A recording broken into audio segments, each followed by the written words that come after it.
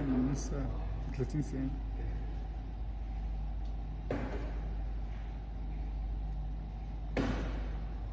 Uh,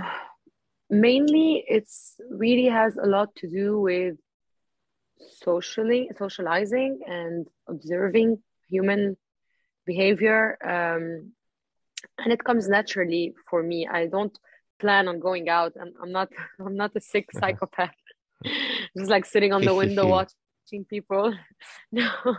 that doesn't work that way but i'm i was always interested in human beings. I'm a sociable person and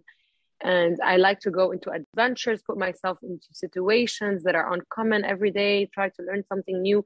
specifically from human beings um,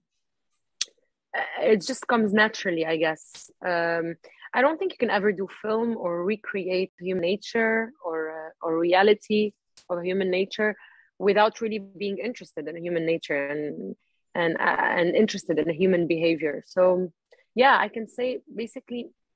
my, my hobbies which are going out and